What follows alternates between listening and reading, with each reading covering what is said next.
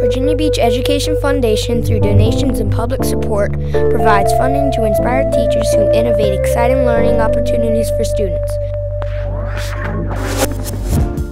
The name of my grant project is called Taking a Bite Out of History. I launched it through a social studies lesson about Civil War and rations and what the soldiers typically ate.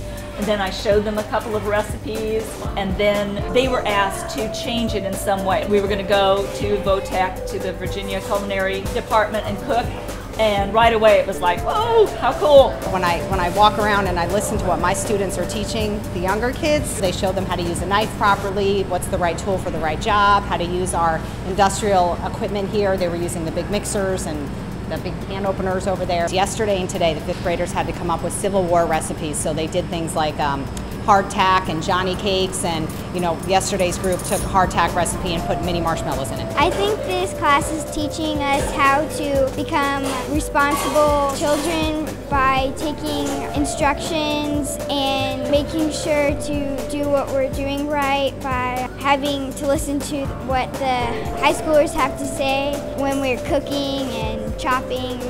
It's teaching workplace readiness skills getting ready to go out into the workforce, having the basic skills you need to set a foundation for building up on things. I, I was the one that taught them that, so it's kind of like a whole circle of life thing going on. You know, I brought it to them and they bring it to them. Inspired teachers create lifelong learners. Support a lifelong learner in your community. Visit vbef.org for more information.